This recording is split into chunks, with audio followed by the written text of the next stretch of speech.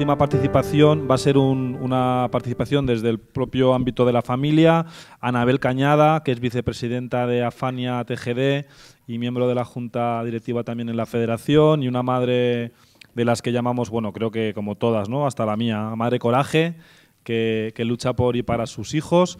En el caso de Anabel, tiene dos hijos adolescentes eh, los dos con algún tipo de dificultad a causa del autismo, con lo cual conoce muy bien los efectos en, el núcleo familiar y ambos están escolarizados en un centro de enseñanza secundaria, con lo cual nos parecía muy adecuado eh, un poco obligarla, porque no quería, a, darnos una pequeña pincelada de lo que supone para ella ser una madre de dos alumnos que están ahora mismo en esa vivencia de la enseñanza secundaria. Cuando termine eh, Anabel, que le pedimos que, haga un tweet prácticamente, que con un tweet nos lo resuma todo. Haremos una ronda rápida de preguntas, vamos arrastrando ya un pequeño desfase y además el café se está enfriando, los bollos están, los están comiendo los, los del centro de mayores, con lo cual lo salimos rápido o no, o no comemos el café. Entonces vamos a intentar aligerar y iremos recuperando el tiempo durante el resto de la, de la mañana. Así que muchas gracias y Anabel cuando quieras. Como Cristian lo ha dicho todo, yo ya no la presento, la ha presentado él muy bien. Solo deciros que conozco hace mucho tiempo a Anabel y que el mejor título que puede tener Anabel y el mejor currículum es que es madre, una madre coraje, como ha dicho. Pues nada, bueno. Gracias por los halagos, pero vamos, mal de normal. Nada, yo solo voy a hablar cinco minutos porque prefiero que ellas os contaran todas las cosas que las que más os iban a enseñar. Y nada, yo, nada, que ya sabéis que soy Anabel y que soy vicepresidenta de España, pero que no vengo en nombre de España, sino como madre. Soy madre de tres hijos, dos con necesidades educativas especiales. Eh, está diagnosticado uno de TGD sin especificar y el otro de TDA. Eh, yo les llamo los pinipón que tienen 14 años y, ya están en un instituto de aula, en un instituto en la ESO, en aula, en aula preferente, en Getafe, que se llama La Senda. El caso de Diego, que es uno de los pinipón, el, diagnóstico estuvo mucho más claro desde el principio. Estaba diagnóstico al principio de retraso madurativo y luego de TDA. Pero luego con Sergio, sin embargo, fue más complicado hasta que no estaba en segundo de primaria y vino el equipo específico, no se le valoró de TGD sin especificar. En un principio se valoró el cambio de colegio, pero la verdad es que estaba tan bien integrado en su cole que le decidieron que permaneciera allí. Y nada, tengo que agradecer al colegio, al Manuel de Adenas, porque yo creo que un colegio bilingüe y con niños con autismo, pues imaginaos, no hacían acrobacias, hacían hasta mortales con los recursos que tenían. Luego Sergio repitió y Diego pasó al instituto. Entonces, claro, los lazos se rompieron. Y ya no solo Diego, sino todos sus amigos. Porque es verdad que estaban muy incluidos en esta sociedad. Que era el sueño, bueno, es el sueño que tenemos todos los padres. El que le vayan a invitar a un cumpleaños, el que llamen al portero y diga, baja Sergio y Diego a jugar. Bueno, eso es lo mejor para todos, lo que queremos todos. Y yo eso lo tenía logrado. Es verdad que al romper esos lazos, al principio pues nos costó un poco más el que se volvieran a, solidificar, pero bueno, se han continuado. A ver qué más contaros. Al principio nos pareció injusto, ¿no? A mí me pareció injusto el que, el que le hicieran repetir a Sergio, pero luego reconozco que pasó al instituto más preparado. Pasó con más seguridad y más autonomía. Hubo un, problemilla social porque sufrió un poco de acoso, bueno, un poquillo, con los nuevos compañeros de sexto porque no le conocían bien. Eh, entonces, pues bueno, ponían algunas caricaturas un poco en Twitter, mandaban cosas groseras por WhatsApp y la verdad que fue un problema, pero gracias al instituto y a la federación se solucionó. El problema fue que fue en verano, entonces estaba un poco como en tierra de nadie, porque el, colegio estaba cerrado. Entonces, bueno, pues es verdad que lo que he dicho, que gracias al instituto y a la federación, pues se solucionó. Y luego, dado a sus antiguos compañeros, algunos de ellos que eran los macarrillas, por así llamarlo, del instituto, vamos, lo solucionaron rápido, porque fueron hacia los acosadores y le dijeron, vamos, o dejáis de meter con él y vamos, mano santa. O sea que, nada, ya no se defiende nada, ya ni se burla, ni al revés, todo lo contrario. Con Sergio deciros que se hizo una gran adaptación por parte de todo el equipo de, eh, del equipo de orientación del centro, que él está muy feliz, que sí es verdad que le supone a veces el tema de exámenes un poco complicado, porque todavía, sí es verdad que hay un pequeño vacío, un gran vacío, por así decirlo, que hay profesores pues que todavía les queda un poquillo el tema de la adaptación curricular, el hacer exámenes adaptados. Es normal, porque muchos de ellos, pues, como yo tengo un amigo que se decía librada, ¿no? que estudió historia, y claro, yo le digo, ponte a dar clase a Sergio, ¿no? Pues es normal, hasta que lidiar con chicos adolescentes y encima con autismo, pues todavía es más complicado. Hay muchas cosas que pienso que hay que hacer todavía en los, en los institutos, que falta mucho trayecto, pero que con una buena intención y un buen hacer y esfuerzo por parte de los profesionales se puede ir solventando y solucionando. En el caso de mis hijos, el apoyo tanto de la PT como de la L, como de los integradores es muy importante, es necesario. También pienso el que no, el que no, el no cambio de los mismos profesionales en el centro, pienso que es muy importante. Vamos, pienso que sería una obligación, es que tenía que ser y también que hay que tener en cuenta el no cambio del profesorado, que estuviera un tiempo con ellos, mínimo dos años, porque claro, tienen un profesor, ya le conocen. Llega segundo, otra vez profesor nuevo. Entonces, claro, pues cosas que, pues bueno, que habría que, pero te conozco que el trabajo que es muy difícil. También quiero mencionar que también es muy importante, pienso desde el instituto, que se trabaje la autonomía y la transición a la vida adulta. El ir a comprar, el montar en metro, que es tan importante como cualquier asignatura troncal y que la inclusión por parte de la integradora, tanto con el juego, con los compañeros, pues que es muy importante, ¿no? Es muy importante hacer actividades lúdicas, es muy importante hacer trabajos con sus compañeros de clase. El otro día Sergio estaba encantado porque le llamaron para hacer un proyecto de ciencias. Vamos, que hizo magdalenas para todas las niñas y niños que le llamaron. O sea, y estaba encantadito. O sea, a ellos les da una gran felicidad, les hace ser mejor. Eh, nada, comentados también que me parece muy importante el tema de las actividades extraescolares, como habéis comentado, y el tema de excursiones. Y nada, y que existen aulas con mucho ratio y muchos niños con necesidades educativas especiales diferentes. Y nada, nada dos cosillas más. Que nos falta, ahora los, los padres también nos preguntamos por lo que decía, después del instituto donde vamos, hay módulos con apoyo, ¿qué hacemos? que dada la situación actual de los recortes hay que plantear que se pueda llevar a cabo un programa y una actuación para que se puedan satisfacer todas las eh, carencias que les surgiera, tanto en la vida adolescente como en la vida adulta. Y hay que luchar para que tengan las mismas oportunidades que los demás. Tienen el mismo y igual derecho que el resto, que son uno más en esta sociedad y que se merecen no más, pero sí igual.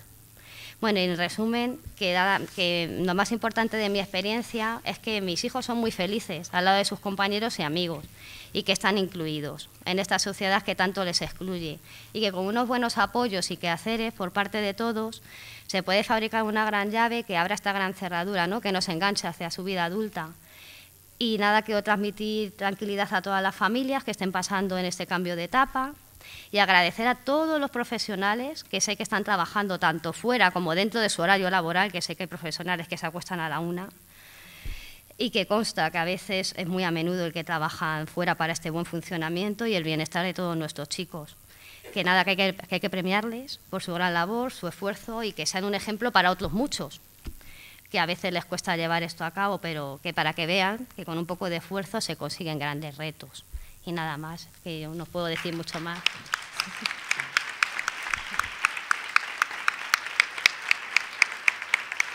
Muchas gracias, Anabel, por tus palabras. Y bueno, en el cuanto al turno de preguntas, teníamos una pregunta que nos ha llegado a través de Twitter, que nos lanza nuestra asociación ProtegeD y que dice que en Navalcarnero tienen tres aulas de, de centro preferente y que para cuándo se está previendo que haya aula de secundaria, porque claro, evidentemente los, los chavales crecen, pasan de la primaria a la secundaria con, una, con un modelo de apoyos. Entonces, a la mesa, quien quiera recoger la pregunta, pues que nos la responda. Normalmente mm, lo que hacemos es el estudio de los alumnos que van a salir de sexto para prever los centros que tenemos que tener al siguiente curso. Entonces, eh, ya estamos en la tarea para ver si hace falta un centro de secundaria en Navalcarnero. De todos modos, este año se ha abierto un centro, un centro nuevo, porque ya había tres, el tercero se ha abierto este año y tiene las dos etapas, con lo cual, bueno, pues sería fácil continuar en la otra etapa si fuera de ahí. Pero vamos, que estamos trabajando, ¿eh? No puedo decir más porque no sabemos lo que va a salir. Bueno, pues con eso nos quedamos, que están trabajando a ver si tenemos fruto pronto. La modalidad tiene continuidad y yo creo que en todos los casos tiene continuidad. Muy bien. Una pregunta para Raquel. Raquel ha dado mucha importancia a las vías de comunicación entre familia y centro. Perdón, no es una pregunta para Raquel. Quisiera preguntar a Ángeles, a María Ángeles, ¿cómo realizan esta labor en el centro? ¿Existe una figura de contacto? Sí, eh, también tenemos, eh, os decía que al faltar la PTSC eh, nos hemos repartido las funciones. la persona de contacto o de referencia, por ejemplo, en el plan de acogida, en el caso del plan de acogida, pues lógicamente son las personas que de forma permanente están en el aula, es decir, la L y la integradora social. Eh, pero el trabajo con las familias mm, también interviene, lógicamente, el tutor del grupo, las orientadoras de cada uno de los niveles. Eh, es decir, que, mm, mm, que, damos mucha importancia al trabajo con las familias. Actualmente es muy complicado. En, en, la primera, lo que llamábamos nosotros la primera jornada de alumnos, fue más sencillo el establecer reuniones de las familias, que me parece súper importante, porque unos padres aprenden de otros y nosotros aprendemos de todos, porque lo comparto con Raquel, que realmente son mm, verdaderas, verdaderos formadores de los profesionales, las familias. Tienen un recorrido mucho más amplio que nosotros y aprendemos muchísimo. Y por eso eh, nos gusta eh, intentar que las familias... Eh, se conozcan y, tener un espacio para ellos, esa escuela de padres, em, pero porque aprendemos juntos. Eh, la situación laboral ahora mismo nos dificulta muchísimo el encontrar un horario para poder realizarlo, más allá de un al trimestre como mucho, pero mm, la experiencia es notablemente importante y siempre, si fuera posible, hay que mantenerlas. Muy bien. Eh, otra persona pregunta ¿Qué, pasa con la educación bilingüe? Que es una, consulta que suele aparecer y que yo por lo menos conozco que en CERMI Madrid, en las jornadas que tienen de educación, se ha planteado evidentemente el colectivo de la discapacidad, qué pasa con el bilingüismo cuando se enfrentan a una discapacidad. Y dice, si les hacemos unas, unas eh, adaptaciones curriculares significativas, les privamos de la titulación. Esas asignaturas, por ejemplo, Science, las impartimos en castellano o cómo sería ¿Cómo veis desde los centros eh, esa, dificultad? A ver, eh, yo le estaba diciendo a María Ángeles que contestara a ella porque su centro es bilingüe, es de los primeros bilingües de Móstoles. Y el Antonio Gala, que también es preferente para niños TEA, también es bilingüe. La senda también es bilingüe. O sea, da la casualidad que muchísimos de los centros preferentes que tenemos en secundaria eh, son bilingües hay que entender que la enseñanza bilingüe tiene lo que llaman la sección y lo que llaman el programa. La sección continúa el programa, valga la redundancia, que se tenía en primaria. O sea, tiene asignaturas en la lengua inglesa y tiene, pero el programa, que los niños que no van a sección pueden ir a programas dentro del instituto, del mismo instituto, eh, tienen sus enseñanzas en castellano como en cualquier otro instituto y además tienen dos horas de inglés para reforzar el idioma, la lengua inglesa. Realmente eh, lo que se ven son las capacidades que tiene cada niño para que esté en un programa o en una sección. Y pasa igual con otros niños con otro tipo de discapacidad, o sea que el bilingüismo no nos influye en eso. De acuerdo. Eh, para María Ángeles, actualmente, ¿qué dotación de recursos personales está recibiendo el Instituto por ser centro preferente? Eh, ¿Y qué respuesta no, señalas los retos y las dificultades? ¿Qué respuesta nos da la consejería? Entiendo que en, cuanto a esos recursos. Mm, actualmente eh, lo, he, enunciado antes, ¿no? la dotación es una profesora de audición y lenguaje, una técnico superior en integración social eh, y media jornada de un profesor de pedagogía terapéutica. También figura como un orientador más. Yo he mencionado dos orientadoras, aunque realmente mm, tenemos que decir que funcionamos como si fuéramos un orientador, porque el número de horas de docencia que impartimos entre las dos cubre 20 horas de un profesional. Es decir, que realmente, aunque mm, está en el cupo de dos orientadoras, eh, o sea, a nivel de tiempo real destinado al departamento es como si fuera una orientadora. Eh, eh, mm, al principio, si en el centro había además programa de compensatoria, teníamos media PTSC que ha desaparecido. Y en el plan experimental se contemplaban 20 horas eh, de un profesor de secundaria que mm, una vez concluido los dos años de, periodo experimental han desaparecido. Mm, esta dotación yo creo que es muy importante en el caso de un centro de secundaria, sobre todo si tenemos alumnos TEA de altas capacidades. Eh, los profesionales de AL y PT son del cuerpo de maestros y cuando tenemos un alumno que está realizando bachillerato, los apoyos curriculares no pueden impartirlos. Y, necesitamos tener esa flexibilidad a la que antes me refería, en función de los alumnos que tenemos, de las necesidades que cada uno tiene y del, itinerario académico que va a realizar, necesitaríamos tener la dotación.